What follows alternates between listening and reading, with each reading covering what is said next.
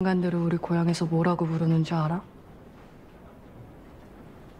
혁명적인 개새끼. 빨간 씨발년이